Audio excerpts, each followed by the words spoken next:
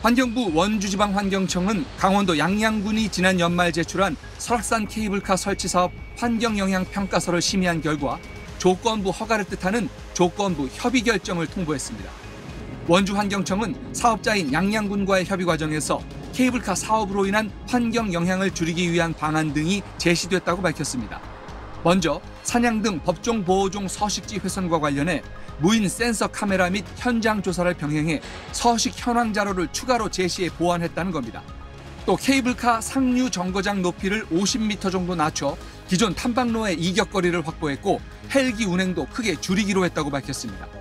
원주환경청은 논란이 된 케이블카 입지 타당성과 관련해 앞서 국립공원위원회의 심의 시 검토된 사안인 만큼 이번 평가 단계에서 재검토하는 건 부당하다는 중앙행정심판위의 법적 판단을 따랐다고 밝혔습니다. 이에 따라 이번 평가 과정에선 입지 타당성보다는 환경 피해 저감 방안의 적정성 등을 검토했다는 겁니다.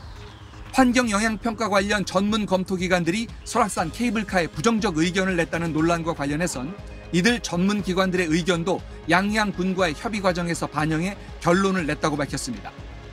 하지만 환경단체들은 이번 양양군에 제보한 계획이 미흡하다는 게 다섯 개 환경 전문 검토 기관들의 의견임에도 대통령의 케이블카 공약을 추진하기 위해 환경부가 부실 평가에 그쳤다고 반발했습니다. SBS 장세만입니다.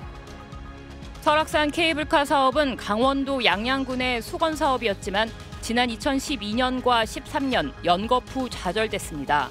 자연훼손 때문에 환경부 산하 국립공원위원회가 매번 불허 결정을 내렸기 때문입니다.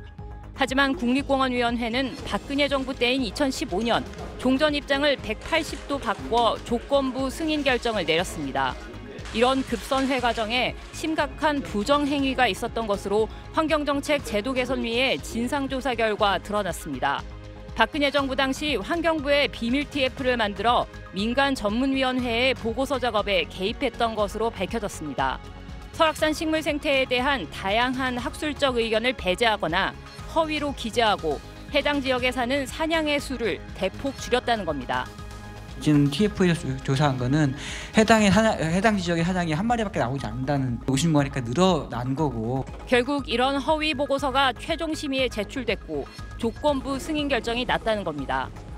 이후 환경부가 국회에서 위증했던 사실도 드러났습니다. 제도 개선위는 설악산 케이블카 사업 재추진 배경엔 전경련의 건의와 박 전 대통령의 지시가 있었다며 진상조사와 사업 타당성 재검토를 요청했습니다. SBS 유덕기입니다. 설악산 국립공원 오색 케이블카 사업은 강원 양양군 오색리 지역에서 해발 1,480m의 끝 청봉까지 3.5km 구간입니다. 환경부가 케이블카 사업에 부동의 결정을 내린 가장 큰 이유는 이 지역이 사냥 등 멸종위기 야생생물 13종의 서식지로 보호 가치가 매우 높기 때문입니다. 오색 삭도 설치 운영으로 인한 환경 해석 문제를 원천적으로 해소하기는 어렵기 때문에 부동의 의견을 제시한 것입니다.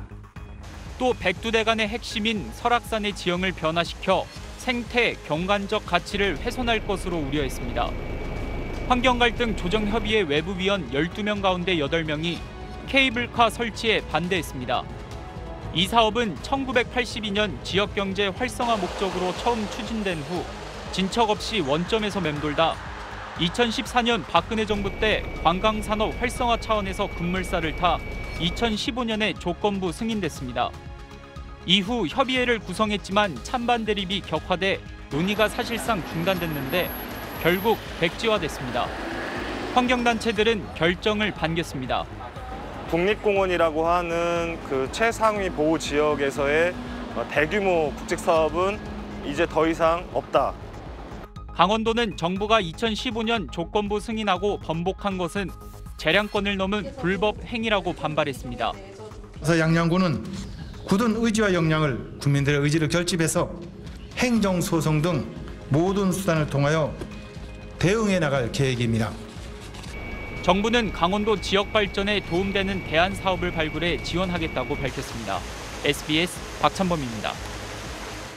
양양 오색 지구에서 끝청 3.5km 구간을 연결하는 오색 케이블카 사업. 노인과 장애인 등 사회적 약자들의 문화 향유권 보장과 탐방객 분산을 통한 생태 보존. 지역 경제 활성화를 위해 지난 1995년부터 추진해 왔습니다. 각종 소송과 맞물려 어렵게 이어져온 사업은 전 정부의 환경영향평가 부동의 결정으로 좌초 위기에 처했다. 행정심판 끝에 기사회생했습니다. 최강원도정이 설악산 오색 케이블카 사업을 최우선 현안 사업으로 정하고 추진에 속도를 내기로 했습니다.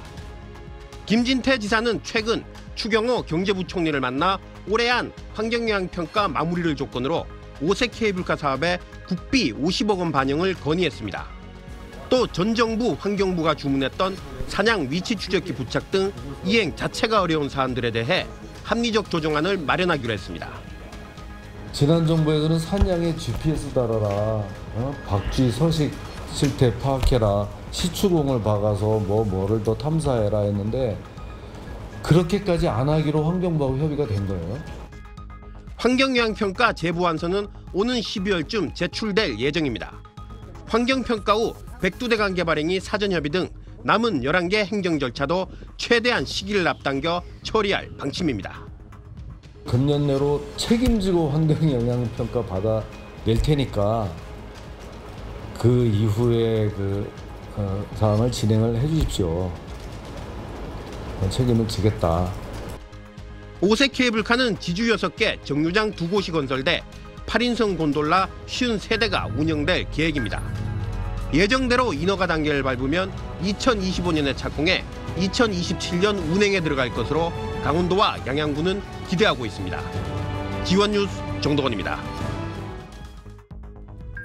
양양군 서면 오색리에서 설악산 끝청을 잇는 오색 케이블카는 지난 2015년 9월 조건부 허가를 받았습니다. 하지만 문재인 정부 시절인 2019년 환경부가 설악산 환경 훼손 등의 이유로 제동을 걸었습니다.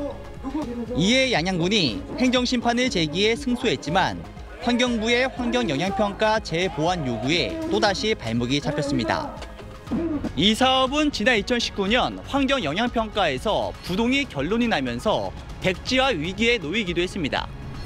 지지 부진하던 오색 케이블카는 지난 5월 새 정부가 출범하면서 속도가 붙었습니다.